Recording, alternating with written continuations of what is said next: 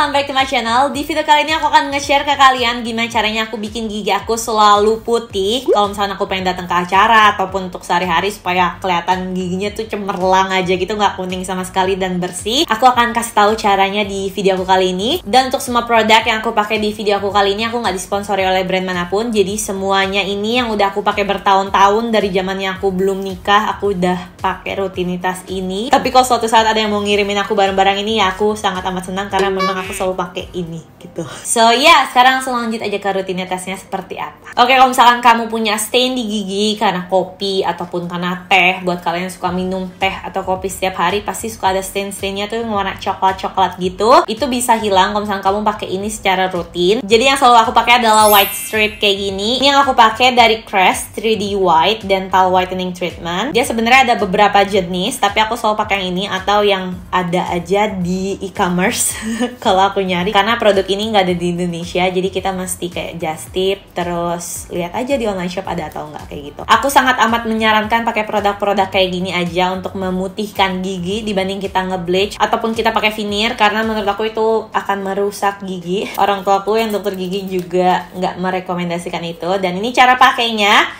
Kayak tinggal dibuka doang. Dia stripnya ada dua kayak gini by the way.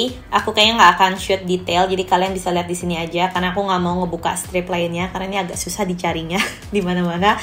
Apalagi kalau aku ngejar video ini, aku takutnya kalian tuh pada langsung berbondong-bondong mencari ini. So ya, yeah, jadi ini dapat dua strip kayak gini. Paling panjang ini untuk gigi bagian atas, kalau yang pendek untuk gigi bagian bawah. Dan kalau misalkan kamu mau pakai ini, biarin aja gigi kamu nggak usah sikat gigi dulu, karena setelah ini kita akan sikat gigi. Jadi cara pakainya tinggal dibuka aja Terus ini aku taruh di tengah-tengah.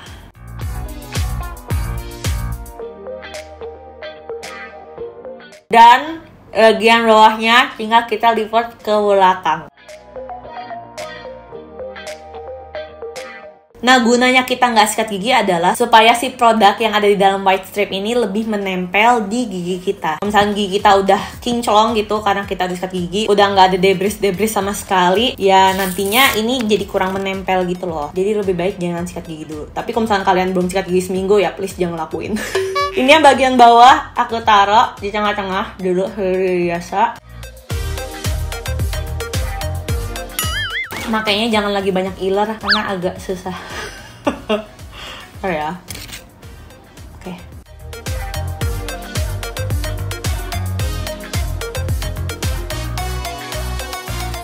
di bagian bawah tuh makanya memang agak susah copot-copot karena kan di sini kan ada kelenjar ludah jadi ludahnya banyak banget. Ini biasanya aku diemin gini doang selama 40 menit. Jadi setelah 40 menit kita bisa buka stripnya dan kita langsung gosok gigi gitu. So I'll be right back. A few moments later. Jadi nanti produknya itu bakalan memang nempel di seluruh gigi kita walaupun nggak sampai full ke belakang ya. Cuma bagian depan yang akan terlihat pas kita senyum aja.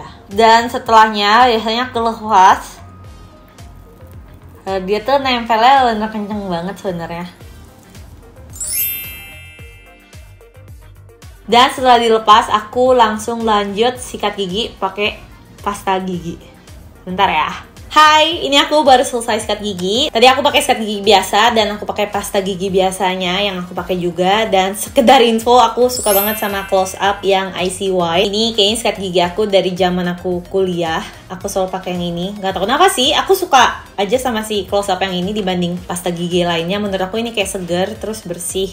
Tapi memang sih nggak bikin putih gitu ya. Kayak pasta gigi biasanya aja lah gitu. By the way hasil si white stripnya itu setingkat sampai dua tingkat lebih cerah dibanding gigi kita yang sebelumnya. Dan kalau misalnya kamu pengen lebih cerah lagi kamu bisa ulang pakai white strip kayak gini dua minggu sekali. Tapi nggak usah sering-sering banget sih sebenarnya. Karena menurutku udah langsung putih cerah gitu loh giginya. Bahkan aku biasanya pakai white strip kayak gini kayak sebulan sekali. Ataupun kalau aku lagi pengen ada event yang kayak bakalan ketemu banyak orang aku baru pakai white stripnya. Kalau enggak ya aku maintenance gigi aku kayak biasanya aja. Karena kadang-kadang kalau terlalu putih juga aku tuh kurang suka gitu kayak kurang natural aja. Pas aku lagi ngaca jadi kayak salvo ke gigi aku karena terlalu cerah. Anyway kalau misalnya kamu punya gigi yang kuning dan itu keturunan dari orang tua kamu kamu nggak akan bisa punya gigi putih kalau misalkan kamu pakai produk-produk kayak gini doang. Harus ada treatment khusus yang mengharuskan kamu pergi ke dokter gigi. Dan ngomong-ngomong soal maintenance gigi kalau misalkan untuk sehari-hari supaya gigiku tetap stay warnanya seperti ini tanpa mengulang pakai white white strip terus. Aku selalu pakai electric toothbrush kayak gini. Ini aku punya dari Oral-B dan untuk pasta giginya aku selalu pakai dari Crest juga. Ini adalah Crest 3D White fluoride anti cavity toothpaste. Tapi sebenarnya ada juga toothpaste keluaran Crest yang bisa ngebuat gigi kita lebih cerah lagi. Sebenarnya pakai ini lebih cerah sih untuk maintenance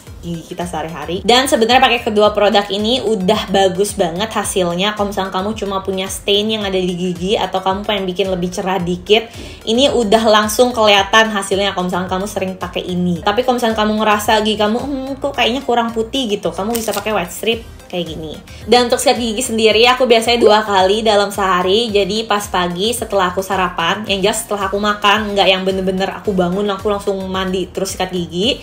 Karena sebenarnya yang bener itu abis makan. Karena biasa abis makan kan suka ada kotoran-kotoran di gigi tuh. Nah makanya harusnya sikat gigi setelah makan gitu. Dan yang keduanya biasanya aku selalu sikat gigi tuh sebelum tidur. Supaya kalau misalnya kita makan siang ataupun kita habis makan malam, bekas-bekas makanannya tuh nggak menempel di gigi dan kita bawa tidur. Karena kalau misalnya kayak gitu itu bisa jadi plak yang nempel di mulut dan bikin gigi kita jadi nggak cerah sama sekali. Oh ya ini cara pakainya juga gampang banget, kamu tinggal nyalain. Dan sebenarnya ini electric toothbrush yang paling murah menurutku. Ini brush headnya kamu bisa ganti sekitar 3 bulan sekali. Karena memang electric toothbrush kayak gini dia tuh ada beberapa macam, beda-beda semakin mahal biasa semakin bagus hasilnya. Tapi menurutku yang kayak gini aja tuh udah cukup. Oke sekian video dari aku kali ini. Semoga buat kalian yang pengen punya gigi cerah ataupun putih bisa terbantu dengan nonton video aku dan mengikuti cara-caranya untuk maintenance supaya gigi kamu tetap cerah. So ya, yeah, kalau misalnya kamu suka dengan video ini, please like this video dan komen di bawah next aku bikin video apa lagi.